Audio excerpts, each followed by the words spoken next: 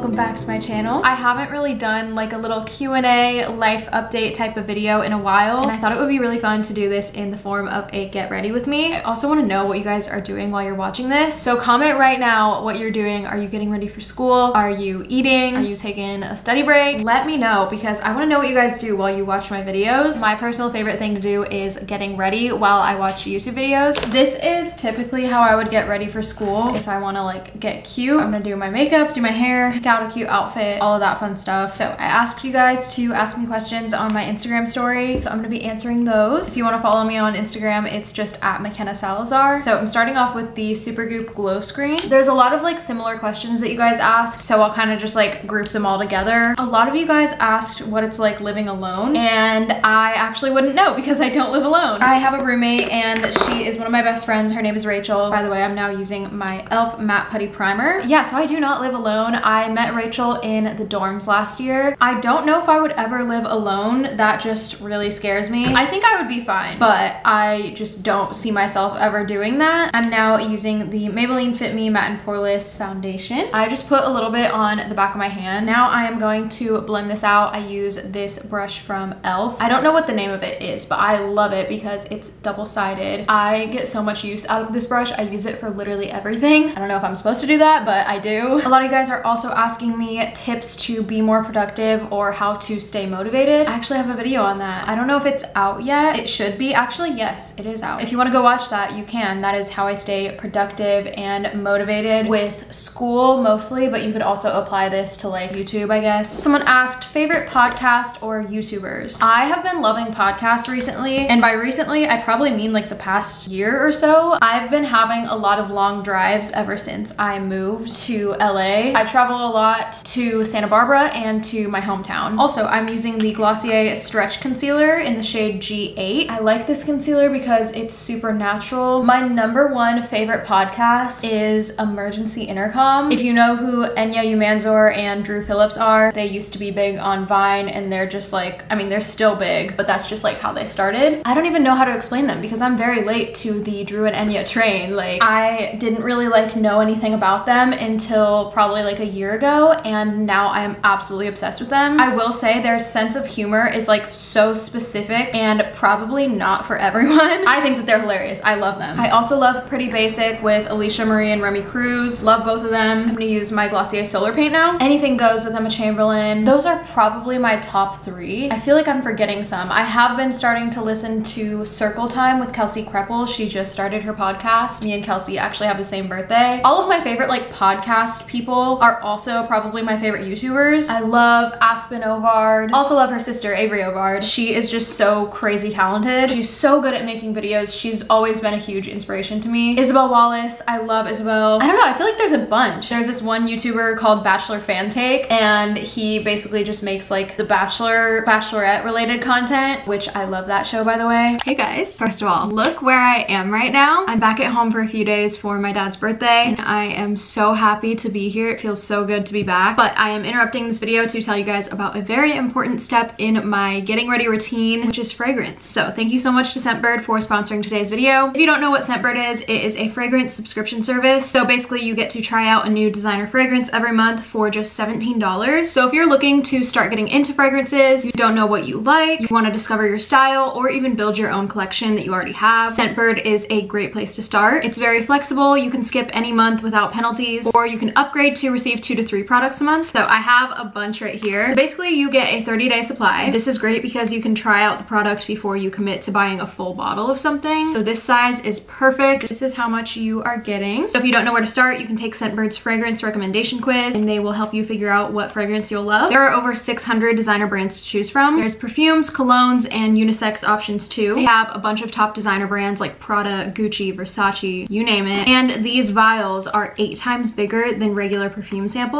These little vials are so handy for traveling. It has a little lock so it's not gonna like leak on you. You just twist it and then spray. So I wanna show you guys the fragrances that I have. First I have this Versace perfume. This is the Bright Crystal Absolute. This smells amazing. So the top notes of this one are peony, raspberry, pomegranate, musk. Next we have the Burberry Brit Sheer perfume. This one has some similar notes to the last one. It has peony, musk, yuzu. I don't know what that is, but it smells delicious. Then we have the DKNY Be Delicious perfume. The top notes of this one are green apple, cucumber, and grapefruit. I saved my favorites for last. This one is the Confessions of a Rebel Please perfume. Top notes of this one are jasmine, sandalwood, and skin musk. And last but not least, we have the Dolce & Gabbana light blue perfume. This one has notes of lemon, apple, cedar, bamboo, and musk. I think maybe one of my family members wears this perfume or something very similar because it's like very nostalgic to me for some reason. Make sure to click the link below and use my code KM55 for 55% off your first month. That is only about $8. Scentbird is also available in Canada. So once again, make sure to go check out Scentbird. I also do want to talk about shows that I've been watching. I've been watching The Bachelorette and that ended recently. That was a mess. I'm gonna start watching Bachelor in Paradise. It premieres tonight. I'm like so bad at this right now. I'm jumping from topic to topic and I'm not even like saying what I'm doing. Okay, I used the Rare Beauty blush in Nearly Rose. Love this one. And then I like to set it with the NARS blush in the shade Orgasm. This blush gives me like a little sparkle, which I really like.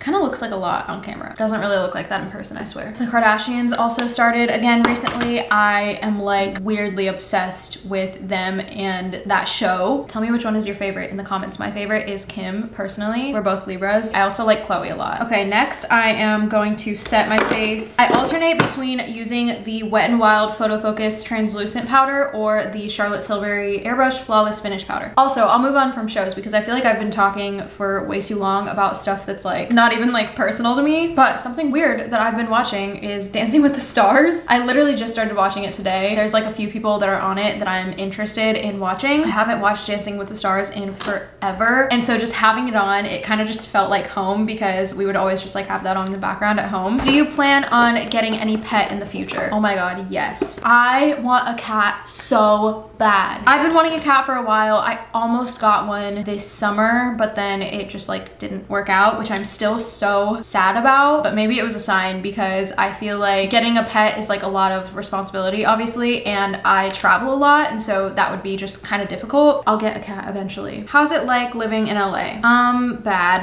I don't like it personally. Literally not to be like one of those YouTuber, like social media people who's just like, oh, I hate LA, like LA sucks, all that. It's a really cool place. It's just not for me. The reason that I came here was for college. Also, I'm using the gel eyeliner by About Face Beauty. I moved here for college because I kind of just thought that this was the place that I needed to be with my job and my major. If you didn't know, I'm majoring in television, film, and media, and I am minoring in social media marketing. So if I were not in like the social media world, I would want to work in the film industry, but I feel like something that I would be good at is social media marketing. Like I don't, I'm not even sure how to explain it. More like maybe like making commercials or like cute little like advertisements or graphic design. I don't, I really just don't know. This stresses me out so much talking about it because I literally don't know what I would be doing right now if it wasn't for YouTube. I've also been getting questions about what I'm doing after college. I don't know.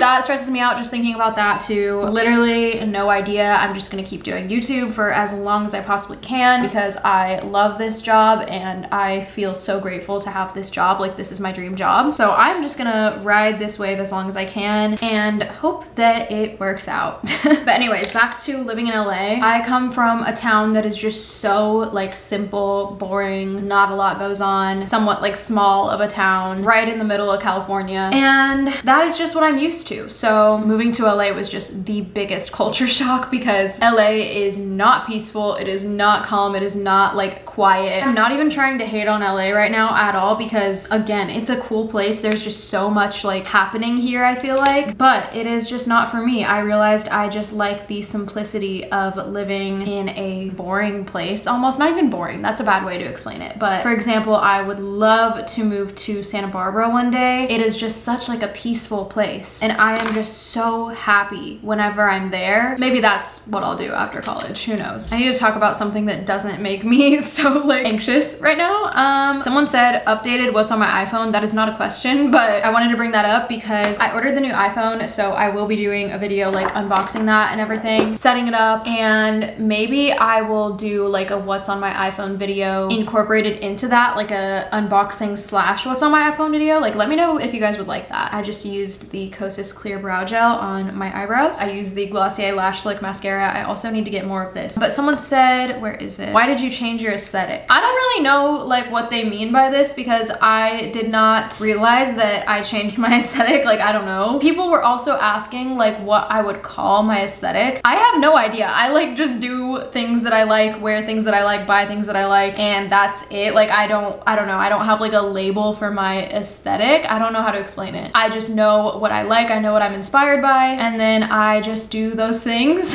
I don't know. Maybe my aesthetic has changed because I'm just getting older and my style changes over time, if that's what you mean. Someone said, going into YouTube, what were your goals? I really did not like have many goals going into it. I think the one that I had was like hit a thousand subscribers by the end of the year. And I started my channel in like the very, very beginning of 2019, I wanna say. But yeah, that was about it, honestly. I did not expect much to come out of it. I didn't expect to obviously like have it turn into a job that like can support me. I genuinely just had this like huge passion for YouTube and loved it so much. I just love like creating as cheesy as that sounds i don't know. That is kind of why i majored in film. I just like have always loved this kind of stuff and have always been super inspired by the youtubers that i would watch like growing up. This has just always been my dream job and it's just so crazy that like it came true. Whenever like i do videos on i guess just like advice for starting a youtube channel and stuff i always tell you guys don't start it for the money. Start it because you genuinely have a passion for it. You can obviously like like set goals for yourself, but don't like just start it because you want to get that first paycheck. Because if you're in it for the money, most likely nothing's gonna really come out of it because you're gonna realize how much like time and effort goes into having a YouTube channel and maintaining it, and then you're just gonna stop. But if you really love what you're doing, then you're not gonna stop because you enjoy it. So if you've been wanting to start a YouTube channel, do it. Literally, it was the best decision I've ever made. Every day, I am just so grateful for my channel and for you guys who support me. I was so so, worried about what people thought of me for so long that it stopped me from starting a YouTube channel way earlier than I probably would have. I've wanted to start a YouTube channel since fifth grade, but I actually did it six years later. Also, I always use a Q-tip to get the excess like mascara off of my eyelids, but then I use the other clean end to get the makeup off my lips. Now I'm gonna set my face with the e.l.f. setting spray.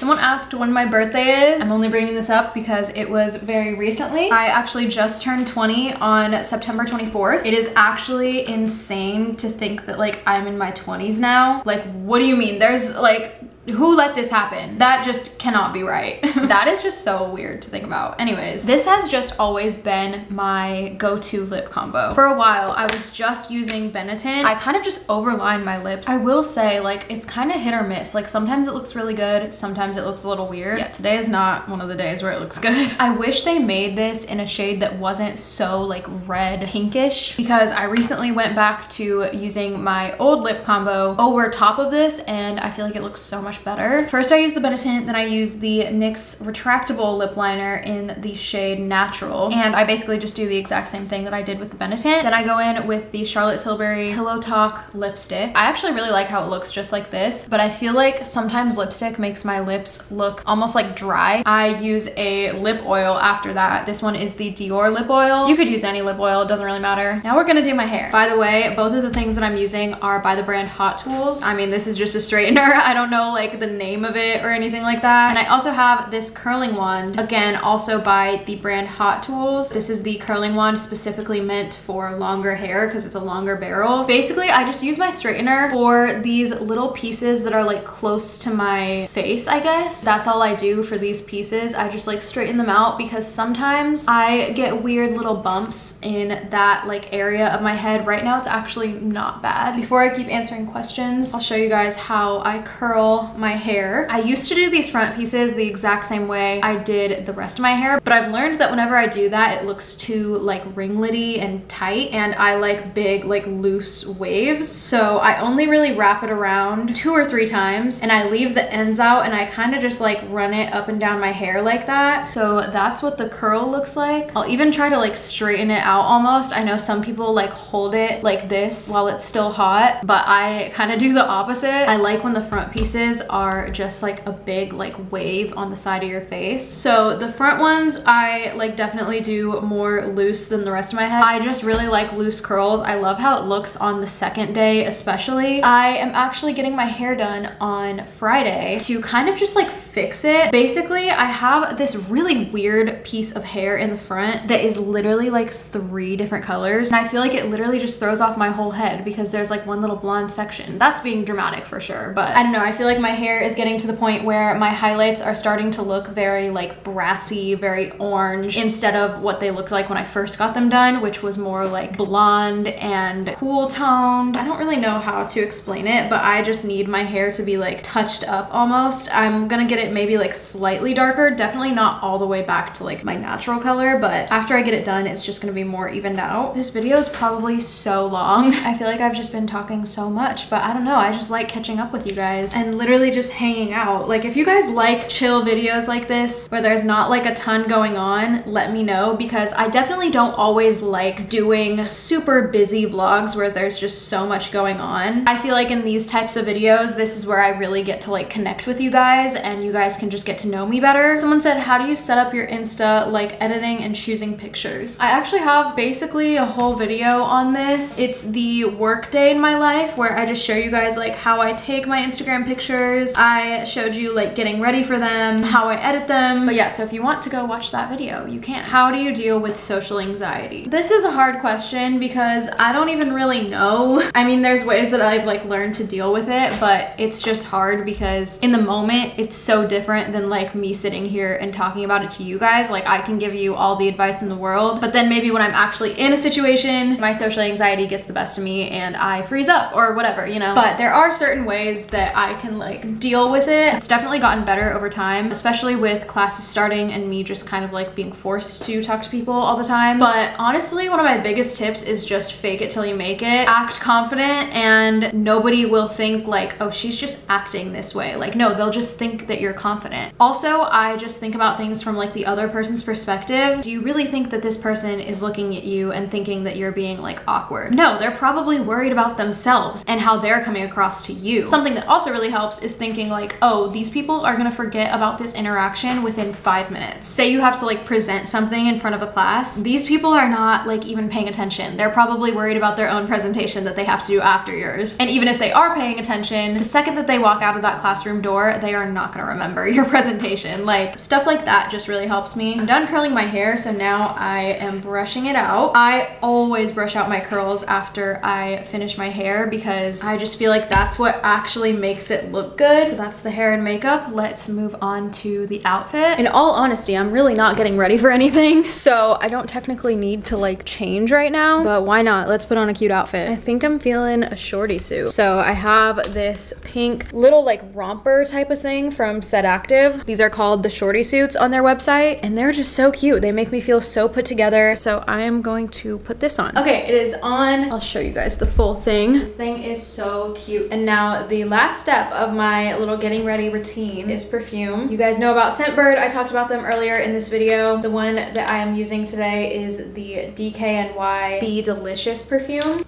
Oh my gosh, this stuff just smells so good. All right, well, I'm all ready for absolutely nothing. Sometimes I like getting ready for no reason though, because it just makes me feel cute. And it's almost like a little act of self-care. I don't always have to have a reason to get ready and feel my best. That is it for today's video. I hope you guys liked hanging out. I feel like you guys learned so much about me today. So tell me something about yourself in the comments. I hope you have a great rest of your day or night, wherever you are, whatever time it is that you're watching this. And I will see you all soon. Bye.